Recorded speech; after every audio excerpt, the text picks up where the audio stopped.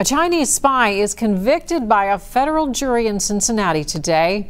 Yanjun Xu was found guilty on all counts, including attempting to commit economic espionage and stealing trade secrets from GE.